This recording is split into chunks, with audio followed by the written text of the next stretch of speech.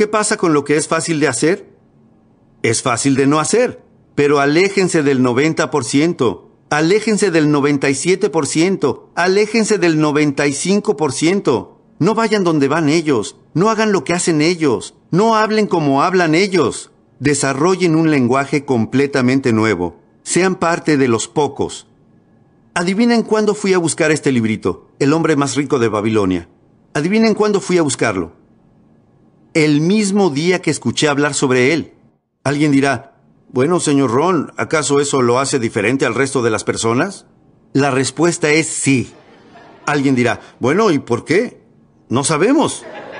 ¿Quién sabe? Ustedes no saben, yo no sé, nadie sabe. Lo único que sabemos es que algunos tienen la inteligencia para decir, voy a cambiar mi vida, voy a cambiar mi salud, voy a cambiar la relación con mi familia, voy a cambiarlo todo.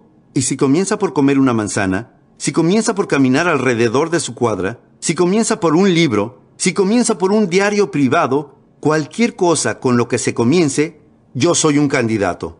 Estoy listo para cambiar mi vida. Los invito a realizar ese viaje. Una vez que lo emprendan y miren hacia atrás, no querrán volver nunca. No querrán volver nunca a las viejas costumbres y retomar el viejo lenguaje y seguir desatendiendo sus cosas. Nunca. Los problemas cardiovasculares en Estados Unidos provocan por sí solos más de mil funerales diarios y el 70% se deben a desatender su salud. Les pido que no esperen que otras personas solucionen esto de aquí a un año para que ustedes puedan ser más saludables. Les pido que asuman una nueva disciplina para que sean más saludables, para lograrlo ustedes mismos, libro a libro, entrada a entrada. Se encuentra disponible a todos ustedes. Bueno, Déjenme decirles qué colocar en sus bibliotecas. Número uno, su audioteca. Y esto me da la posibilidad de hacer una pequeña publicidad. Solo una pequeña publicidad. El número uno es su biblioteca visual, especialmente para chicos. A ellos les resulta más fácil mirar que escuchar o leer. Así que este es un buen comienzo, una videoteca, cuatro horas y media, unas mil cien personas, tres cámaras. Es lindo, realmente estoy orgulloso. Número dos su audioteca. Conviertan su auto en un aula móvil. Hay un seminario de dos días que doy cada tanto. Probablemente hagamos un par el año próximo. Número 3. Su biblioteca de lectura. Bueno, yo solamente publiqué tres libros, así que mis libros no hacen una biblioteca, pero lo que espero de ellos es que hagan un aporte, porque si quieren repasar todo lo que estuvimos tratando hoy, una de las mejores formas de hacerlo es la que ya mencioné, tener el libro para leerlo, los libros son objetos móviles, es decir, se pueden transportar, se los puede enviar a cualquier lugar, pueden ir a cualquier lugar, léanlos. Tienen que leer libros. Esa es una buena frase para llevarse a casa. Lo que no lean no podrá ayudarlos. El libro que no lean podría costarles una fortuna. Ustedes dirán, bueno, ¿cuánto vale? Pero no se trata de lo que cuesta el libro, se trata de lo que les costará si no lo tienen. Ese es el gran costo. Así que nunca lamenten el dinero que gasten en su propia educación personal. Esto es lo que el señor Schoff me enseñó, y es una buena frase para llevarse a casa. La educación formal logrará que consigan un trabajo. La educación autodidacta logrará que sean ricos. La educación formal hará que se ganen la vida. Y la educación autodidacta les permitirá amasar una fortuna. Y para eso es todo esto que publiqué. Simplemente denle una mirada y llévense a casa lo que les sirva. Maravilloso. Bueno, sigamos. Alguien dirá, señor Ron, no leo mucho. Llévense esta frase a casa. Tienen que cambiar eso. No pueden pasar el resto de sus vidas con este tipo de incapacidad para leer. Existen montones de clases a las que pueden asistir para mejorar su velocidad de lectura, para leer más libros, para retener más de lo que leen. No sigan con ese impedimento mental de no ser capaces de leer más libros y de leer periódicos y leer revistas y leer todo lo que pueda ayudarlos a cambiar sus vidas. Nunca se lamenten por el dinero que gasten en su educación personal, porque ahí es donde se encuentra el milagro. Se denomina el milagro de la mente. Increíble. Bien, ahora tengo que mencionarles la número dos. Ya pasé suficiente tiempo con la número uno. De hecho, me dejé llevar demasiado. La filosofía la primera de las cinco piezas más importantes. Permitan que ahora comience con la segunda y después nos tomaremos un pequeño descanso para estirar las piernas. Todos los que estén de acuerdo digan estoy de acuerdo. Bien, me gusta este grupo. Los voy a llevar conmigo como grupo de viaje. ¿Cuántos de ustedes ya tienen tres páginas con anotaciones? Maravilloso. Santo cielo, están trabajando tan duro como yo. Se los agradezco. Gracias. Bien, la primera pieza más importante de la que hablamos es la filosofía. Lo que sabemos y las decisiones que tomamos nos afectan. Aquí tenemos la segunda pieza más importante, la actitud. Nos afecta el modo en que nos sentimos. La número uno es lo que sabemos. La número dos es cómo nos sentimos, la parte emocional.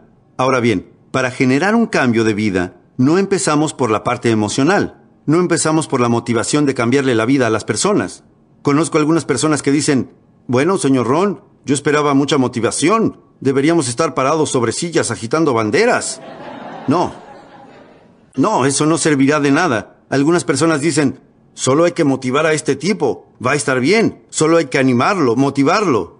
Bueno, probablemente no. Si el tipo es un idiota y se lo motiva, tendremos un idiota motivado. Se los aseguro, no va a ser suficiente. Una frase clave para sus notas. El cambio de vida no comienza con la inspiración. El cambio de vida no comienza con la inspiración. El cambio de vida comienza con la educación. Cuando conocí a mi maestro, él no me inspiró. Lo primero que hizo cuando me conoció fue averiguar lo que estaba mal. ¿Y cómo fue la primera parte de su entrenamiento? Simple. Era un desastre monedas en el bolsillo después de seis años. Algo estaba mal. Ahora bien, no hay que mudarse a otro país. Y no hay que esperar las próximas elecciones. Si se tiene la voluntad de comenzar a hacer algo para cambiar, se puede cambiar todo. Entonces, ¿cuál fue la primera parte de su entrenamiento? Usted es un desastre. Pero él no me abandonó allí.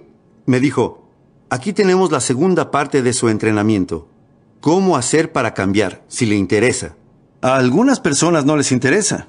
Lo entiendo, pero asumo que la mayoría de esas personas no están aquí. Ustedes entregaron su efectivo, tiempo y dinero para estar aquí. Asumo que están interesados, así que ustedes reúnen los requisitos. Para los que están interesados, les digo, pueden cambiar por completo los próximos seis años de sus vidas si están interesados en hacerlo. Pueden cambiar sus ingresos, pueden cambiar su futuro. ¿Por qué?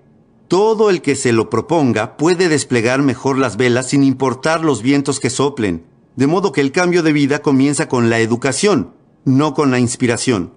Pero es importante cómo nos sentimos. La actitud es una parte importante. Permítanme darles la pequeña lista antes de que nos vayamos al descanso. La pequeña lista de cómo nos sentimos. Hay una lista larga. En nuestro fin de semana de liderazgo la tratamos en su totalidad cómo nos sentimos en relación al gobierno, cómo nos sentimos en relación a los impuestos. Schoff me lo enseñó bien a los 25 años. Me enseñó cómo convertirme en un contribuyente feliz. Yo solía decir, odio pagar mis impuestos. Schoff me decía, bueno, esa es una forma de vivir. Yo pensaba, bueno, ¿no le pase eso a todo el mundo? Él me respondía, no, unos pocos hemos ido un poco más lejos. Yo solía decir, odio pagar mis cuentas. Y Schoff me respondía, ¿odia disminuir sus responsabilidades e incrementar sus activos? Yo le respondía, bueno, es una forma distinta de verlo. Él siempre me hacía ver las cosas de una manera completamente diferente.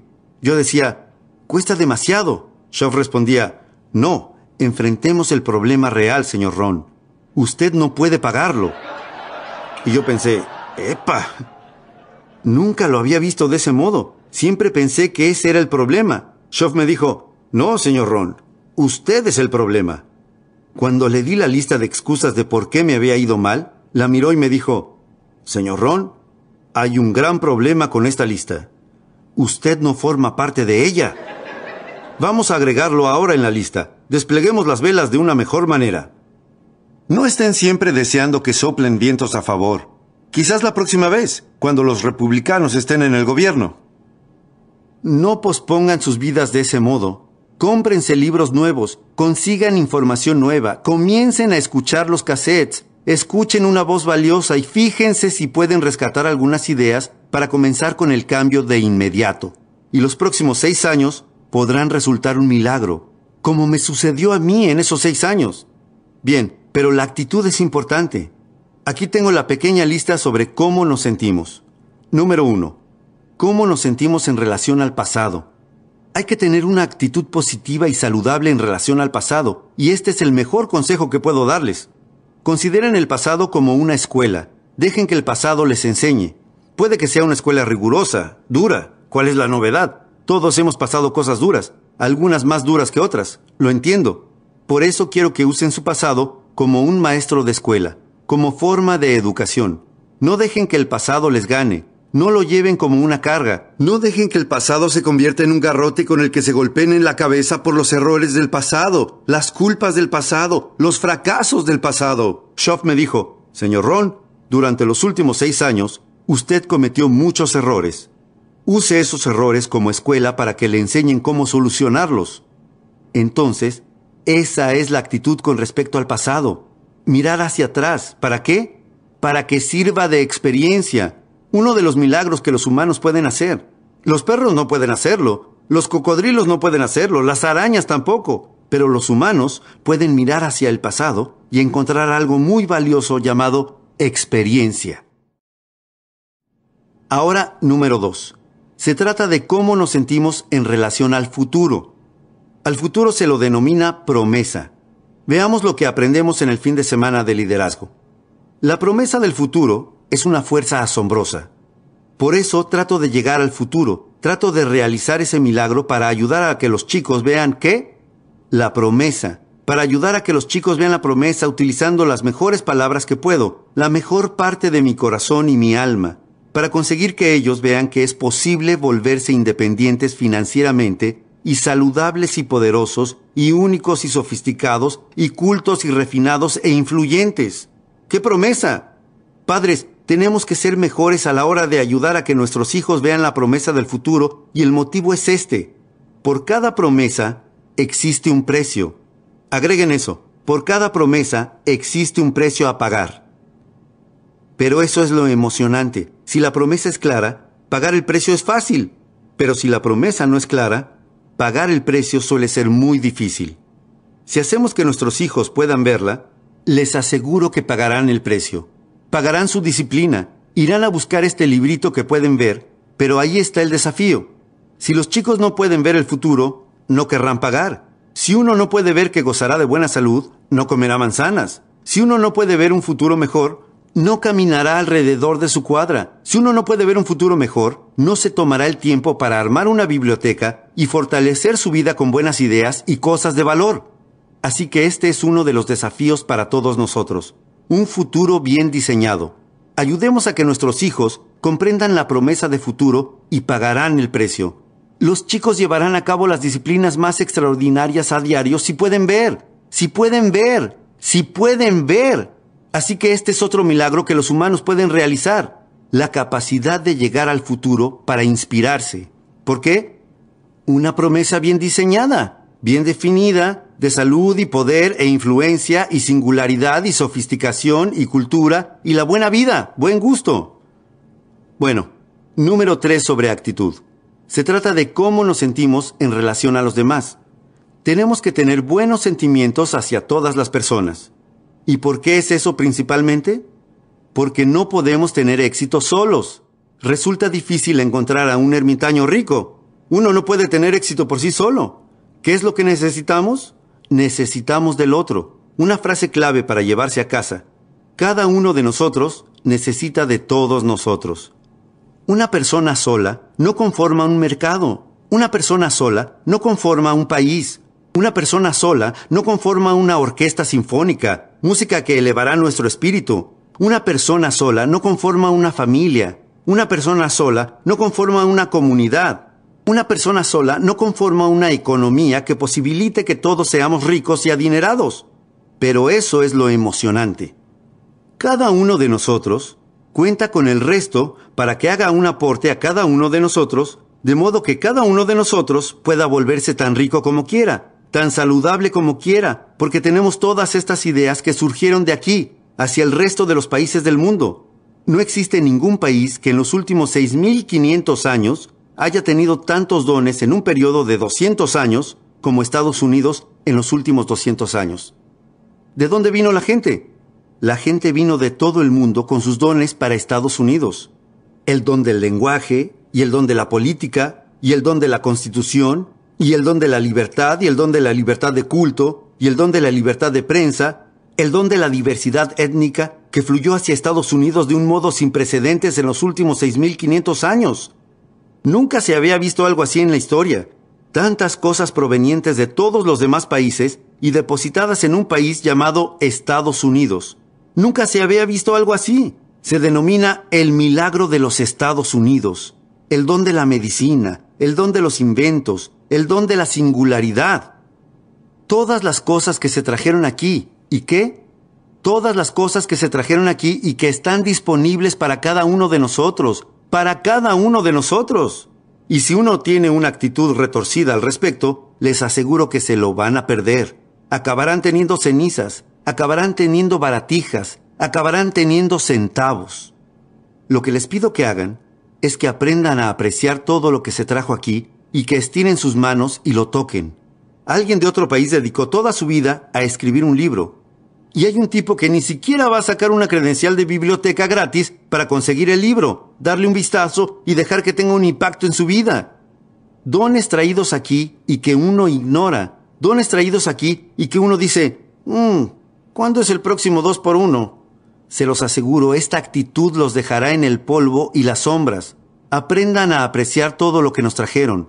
Dones traídos a Estados Unidos, sin precedentes, y nuestra actitud al respecto ayuda en gran medida a cambiar nuestras vidas y nuestras estructuras de vida, patrimonios para el futuro. Ahora pasemos al último punto. Se trata de cómo nos sentimos con nosotros mismos, de comprender la autoestima. Ese es el verdadero desafío. Una vez que comiencen a comprender su propia autoestima, les aseguro que sus vidas comenzarán a remontar vuelo. Podrán salir de la oscuridad y adentrarse en la luz. Podrán abandonar la congoja y tener confianza, comprender su propia autoestima. Esta es una buena frase para llevarse a casa. Cada uno de nosotros debe comprender lo valiosos que somos todos, pero existe una contrapartida. Todos debemos comprender lo valiosos que somos cada uno de nosotros. ¿Sus aportes son valiosos para todos? Les aseguro que sin ustedes, el todo no está completo. Les aseguro que se requiere de cada uno de nosotros para conformar el todos nosotros, cada uno de nosotros con su aporte. Piensen en lo poderosos que podemos ser si cada uno de nosotros hace un mejor aporte. De hecho, John Kennedy lo dijo a la perfección. Seguramente sea el grito del nuevo Partido Demócrata las viejas palabras de John Kennedy y lo que dijo fue, pidan todo y vean con qué se quedan. No, no, no. ¿Qué dijo John Kennedy? No preguntes qué puede hacer tu país por ti. Pregunta qué cosa. ¿Qué puedes hacer tú por tu país? Les pido que se consideren lo suficientemente valiosos para hacer un aporte importante a todos nosotros. Ustedes hacen un aporte importante a todos nosotros y a cambio obtienen los aportes de todos nosotros y los dones que cada uno trae. Eso es poderoso. Y si uno hoy se va de aquí con esa actitud nueva y perfeccionada, les aseguro que podrá lograr lo que quiera. Podrá tener la salud que quiera, podrá tener los ingresos que quiera, podrá tener el futuro que quiera. La relación con sus familias comenzará a mejorar de inmediato. Lo único que deben hacer es tomarlo seriamente y no desatender las cosas, como comer una manzana al día, no desatender las cosas, como comprar un nuevo libro para su nueva biblioteca, no desatender una nueva entrada en su diario, no desatender las cosas. No sean perezosos para aprender. El aprendizaje es el comienzo de la riqueza. El aprendizaje es el comienzo de la salud. El aprendizaje es el comienzo del éxtasis y la dicha y los placeres y un buen estilo de vida y todos los tesoros disponibles para la familia humana. Les pido que hoy inicien un proceso completamente nuevo. Estarán felices de hacerlo. Sus vidas cambiarán increíblemente. Y les diré lo que quiero a cambio, a modo de favor de parte de ustedes. Pónganme al tanto. Me gustaría recibir sus cartas. No podrán creer las cartas que tengo archivadas de parte de adolescentes y ejecutivos de todo el mundo. Algunas de ellas tuve que hacerlas traducir desde otros idiomas pertenecientes a lugares donde doy seminarios como este. Quiero que eso sea parte de sus historias y sus experiencias. Por eso vine a realizar este tipo de inversión. No necesito trabajar tan duro, salvo por eso. Podría estar viajando en mi motocicleta por los caminos, ¿verdad? No necesito trabajar tan duro, pero sí necesito este tipo de experiencias porque quiero tener lo que recibo a cambio. Quiero que esto tenga un efecto sobre sus cuentas bancarias. Les pido que no se limiten a tomar notas. Si van a sus casas y trabajan sobre estos temas, les aseguro que les cambiará la vida y el futuro. Y es por eso que estoy aquí. Quiero que eso les pase igual que me pasó a mí.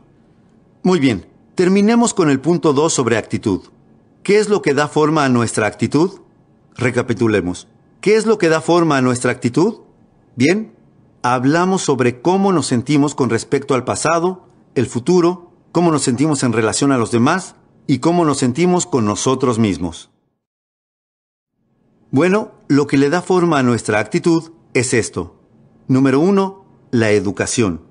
Las emociones deben ir a la escuela para aprender su valor y cómo trabajar para usted y no en su contra en el mercado, en cada, en el ámbito social, en la comunidad, donde sea, porque las emociones hacia el futuro nos podrán avergonzar o respaldarnos. Y una gran parte de ello depende de cuán bien educadas estén nuestras emociones. Está bien que se tienen al piso y pataleen y griten cuando tienen tres años, pero no a los 33.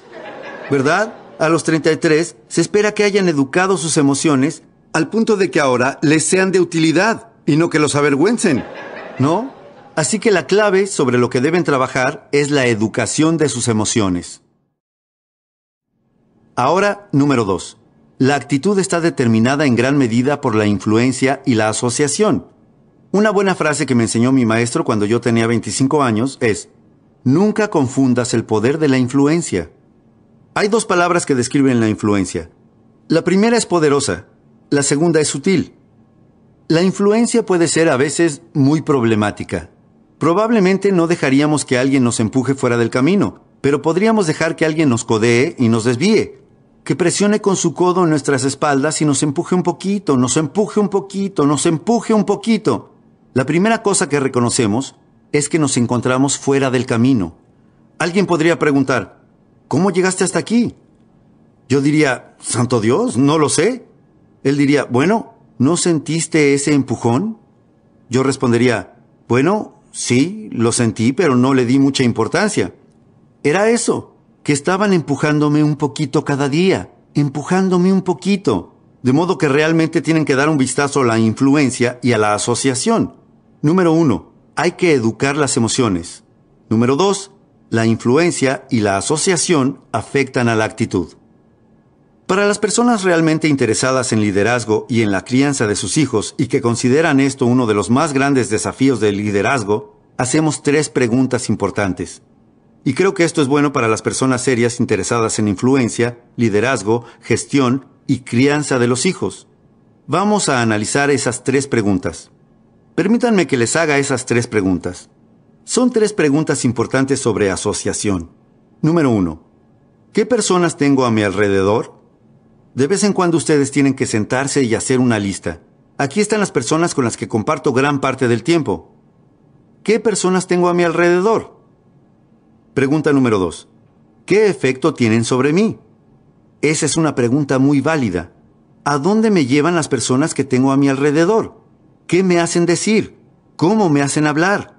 ¿Qué vocabulario me hacen utilizar? ¿Qué me hacen leer? ¿A dónde me llevan? Y esta es la pregunta más importante de todas. ¿En qué me convierten las personas que tengo a mi alrededor? Buenas preguntas. Y aquí tenemos la pregunta número 3. ¿Eso está bien? Tengan en cuenta a cada persona y la forma en la que influyen sobre ustedes y digan, ¿eso está bien? No estoy diciendo que no esté bien que se rodeen de ciertas personas y la influencia que esas personas tienen sobre ustedes. No estoy diciendo que eso no esté bien. Estoy diciendo que lo controlen. En un periodo de cinco o seis años, eso se vuelve sutil y pueden encontrarse fuera de curso, en el ámbito de la salud, en el ámbito personal, de negocios, de familia, de emprendimientos, de las relaciones, en el ámbito corporativo. No importa, la influencia es poderosa y sutil. ¿Qué personas tengo a mi alrededor? ¿Qué efecto tienen sobre mí? ¿Eso está bien? Aquí tenemos las respuestas en lo que se refiere a asociación. Para los que están interesados en un enfoque maduro de la vida, en desarrollar el poder de la influencia, aquí va el número uno. Disociar. Les voy a pedir que evalúen algunas asociaciones y puede ser que lleguen a esta conclusión. Disociar. No les pido que lo hagan rápidamente, no les pido que los hagan superficialmente, pero si se deciden y tienen que hacerlo, consideren esto. Disocien, aléjense. Nancy tenía razón, simplemente digan que no. Les aseguro que tenía razón. Pongan cierta distancia. Eso es lo que resulta de decir que no. Pongan cierta distancia entre ustedes y la mala influencia. Y si quieren ser amables, digan, no gracias. Si no es necesario que sean amables, solo digan que no. Conozco a muchas personas que en la actualidad dicen que sí. La palabra sí es una gran palabra. Tienen que decir que sí, pero tienen que decir que no. Si no dicen que no, les aseguro que les estropeará la salud, les estropeará el futuro, les estropeará sus posibilidades de emprendimientos, ganancias, patrimonios. Tienen que aprender a decir que no, en especial a las malas influencias, a las malas asociaciones. Así que ese es el número uno, disociar. En segundo lugar, asociación limitada. Estamos rodeados de una gran diversidad de personas en el ámbito de trabajo, en el ámbito social, en el ámbito escolar. A todos nos sucede, pero aquí está la clave. Con algunas personas solo podemos compartir algunos minutos, pero no algunas horas, ¿verdad? Con algunas personas solo podemos compartir algunas horas, pero no algunos días. Así que perfeccionen un análisis de sus propias asociaciones e influencias y pregúntense, ¿cuánto tiempo sería beneficioso y luego de ese tiempo ya no? Asociación limitada. En tercer lugar, asociación expandida. Encuentren personas valiosas y vean si pueden pasar más tiempo con ellas. Una forma de hacerlo podría ser asistiendo a seminarios como este, o yendo a la iglesia más seguido, lo que sea. Rodéense de las personas que tienen algo valioso para compartir con ustedes y vean si pueden pasar más tiempo con ellas y dejen que la mejor influencia ayude a moldear su actitud y su futuro. Algunas formas de influencia tienen que provenir quizás de un libro o un cassette. Por eso es que grabamos esta información en cassettes y la publicamos en libros y videos, para permitir que la asociación y la influencia sobre la que conversamos en nuestros seminarios en vivo sigan vigentes y puedan continuar presentes a través de otros medios. Personas que fallecieron hace mucho tiempo, si dejaron un libro, si dejaron un cassette, si dejaron algunos escritos, si dejaron algo que ustedes puedan leer o estudiar o ver, bueno, qué valiosa sería esa clase de influencia. Bueno, eso es lo que le da forma a nuestra actitud. Con esto, abarcamos las primeras dos piezas de las cinco más importantes. La número uno era la filosofía. Lo que sabemos nos afecta. La número dos era la actitud. El modo en que nos sentimos nos afecta. Número 3. Todos los que estén listos para la número 3 diga estoy listo. Está bien. La número 3 es la actividad. Lo que hacemos nos afecta. La número 1 es lo que sabemos. La número 2 es cómo nos sentimos. La número 3 es lo que hacemos, nuestra actividad. Esta actividad es la parte que tiene que ver con el trabajo. Esta es la parte relacionada con el trabajo.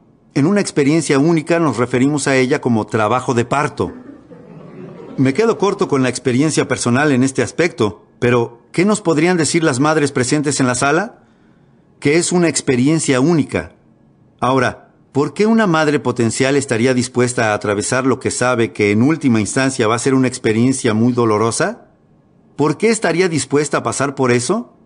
La respuesta es simple. En definitiva, es la única forma de generar una nueva vida.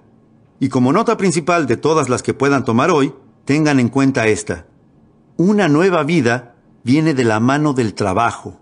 Del trabajo. Esta es la parte del milagro. El trabajo genera vida.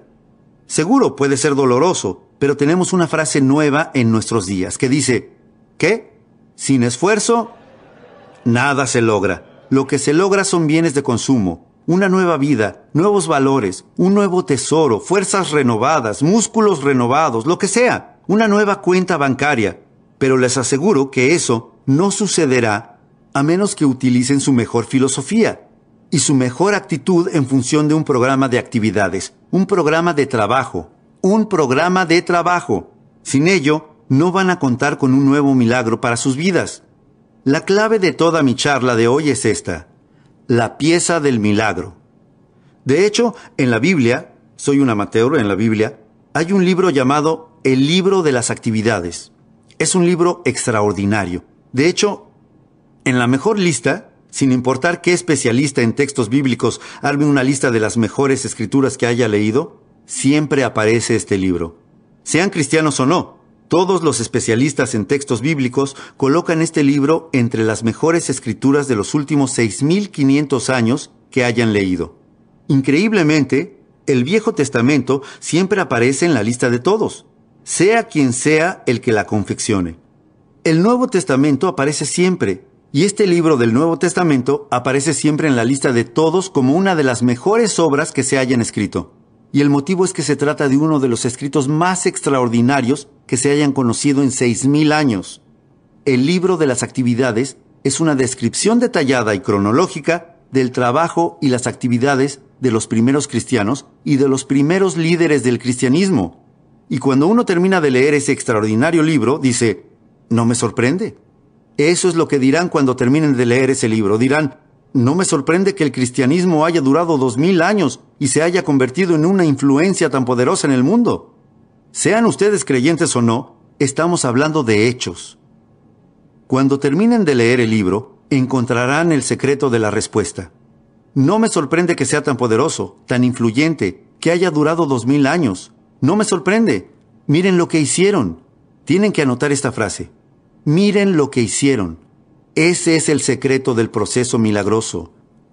Alguien podría discutírmelo y decir, no, no, señor Ron, el secreto del proceso milagroso del cristianismo fue poner atención en lo que decían.